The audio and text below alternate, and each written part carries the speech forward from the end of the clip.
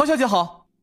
陶乐乐讶异的看了他一眼，想问点什么，但是终究没出口。暗香还是在那儿，还是原来的装潢装修，只是白天相对来说安静一些，几乎没什么客人。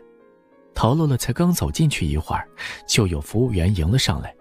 看到来人是陶乐乐时，都像刚才那个泊车小弟一般，非常客气的跟他问好。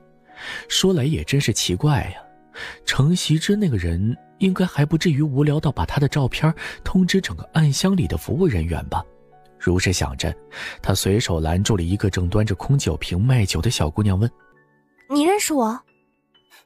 不认识呀，就是我们来这里应聘时，主管给我们看过你的照片。”说你是这里老板娘最好的朋友，叮嘱我们在这里看到你时对你客气点儿。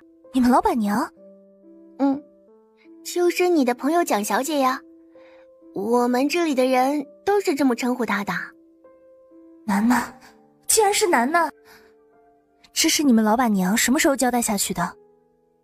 这个听说是好几年前了，但具体什么时候我不知道。我是刚来这里的。